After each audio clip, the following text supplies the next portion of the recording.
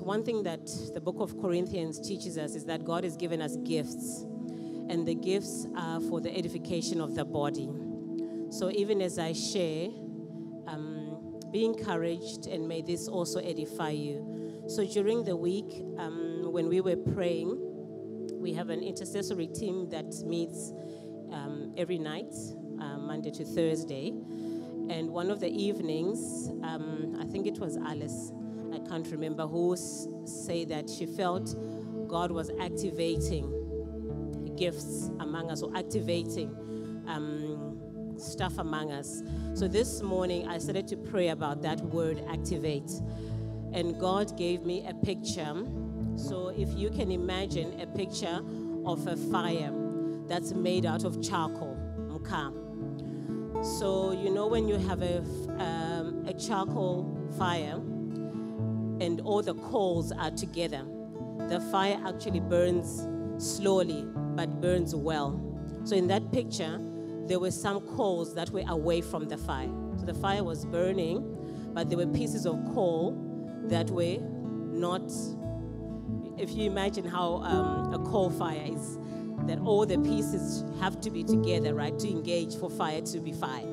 But there were pieces that were separated, and I felt the Holy Spirit saying, there are some of us here, there's resistance. So the pieces of core that are away, it's like a resistance in the spirit where we are doing our own thing. Like you just sort of separate yourself. And it's not often a physical separation, it's like a f- spiritual separation where in your heart and mind, there are things that just cause you to be separate to what God is doing the fire that he's building. So it, it's almost like in my spirit, I felt like an actual resistance that God is saying, This is what I'm doing, this is where I'm igniting. And then there's a resistance in our hearts to follow what he's doing. So the words that I felt in my spirit was, We need to shift, and it needs to be a heart shift.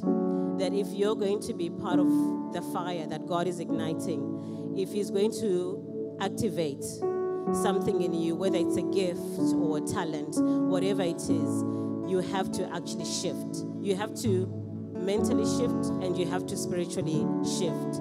And then God is going to accelerate.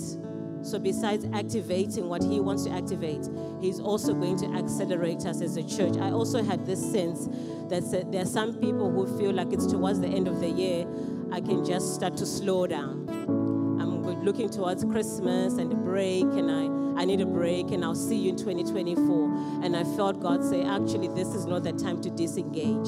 So, that whole thing about the charcoal fire is also an element of disengaging. And God is saying He wants each and every one of us, whether young or old, to engage. So, I'm going to ask you, I want you to just search your own heart and pray for yourself before the band starts um, leading us in worship. Ask yourself is there a resistance in my heart? Is there a place where I'm disengaged? Is there a place where I'm not burning with others the way God wants me to burn with the body of Christ? Because the, the fire that we're talking about is engaging together with the body of Christ and not doing our own thing. And if there's sin God knows our hearts. That's the that's the privilege we have as believers that nobody else knows your heart except yourself and your maker. Isn't that wonderful that you can just come and confession is just saying sorry. Saying sorry to the God who sees you, the God who sees your heart. I'm going to give us a minute just so that we have privacy and then I'll pray for us.